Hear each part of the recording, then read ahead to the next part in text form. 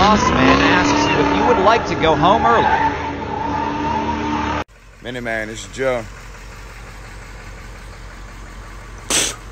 You seen my drivers doing what?